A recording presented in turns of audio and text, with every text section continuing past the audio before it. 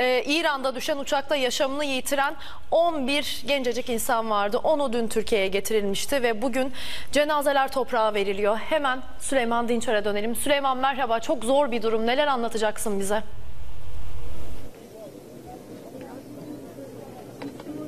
Pelin gerçekten bulunduğumuz noktada acı, acının tarifi yok. Oldukça hüzünlü anların yaşandığını ifade etmemiz lazım. Kameraman arkadaşım Kadir Demir şu anki atmosferi sizlere yansıtsın. 11 kişiden 10'unun cenazesi İstanbul'a getirilmişti. Bugün de toprağa verilme işlemleri gerçekleştiriliyor. Şu dakika itibariyle biz Zincirli Kuyu mezarlığının içinde bulunan caminin hemen avlusundayız. Aslı İzmirli 1990 doğumluydu. 10 Mart'ta o acı olaydan iki gün önce arkadaşlarıyla o son fotoğrafı paylaşan kişiydi. Mücevher tasarımcısıydı. Kasım ayı sonunda da nişanlanmıştı ve Ayşe Ant ABD'de psikoloji eğitimi görmüştü. Klinik psikologluğu yapıyordu.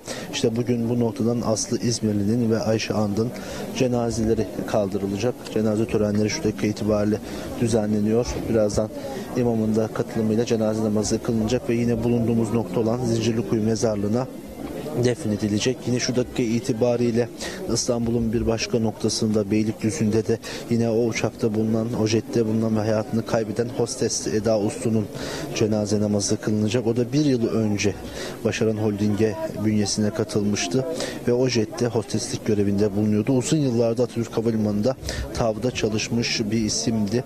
11 kişiden 10'unun cenazelerinin İstanbul'a getirildiğini biliyoruz. Sadece bir kişinin cenazesi henüz bulunamadı. O da ikinci pilot Beril Gebeş. Orada da başka bir hüznün olduğunu ifade etmemiz lazım. Yine 10 cenazeden birinci pilot Melike Kuvvet'in cenazesi memleketi Konya'ya götürüldü. Bir diğer e, şehir dışında olan Bursalı Zeynep e, Tokuş'un da cenazesi, Coşkun'un da cenazesi Bursa'ya götürüldü. Bununla birlikte Yine öğle saatlerinde e, hayatını kaybeden isimlerden Liana Kalma Hananel Ulus 1. mezarlıkta toprağa verildi ve e, yine uçakta bulunan Jasim Barusiloni de Ulus Aşkenas mezarlığında toprağa verildi. Bunu da e, ifade edelim. İkindi namazının ardından ise e, Ataköy 5. kısım camiinde Mine Başaran, Sinem Akay ve Burcu Doğan Urfalı'nın cenaze törenleri düzenlenecek.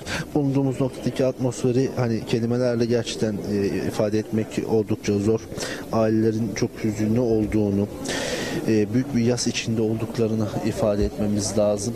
Oldukça kalabalık bir son yolculuk düzenleniyor burada. Arkadaşları, sevdikleri bu noktaya geldiler ve birazdan kılınacak olan cenaze namazının ardından toprağa defnedilecekler. Biz e, şu noktada aktarabileceklerimiz bu kadar diyelim. Sözü tekrar size bırakalım. Pelin Aslan.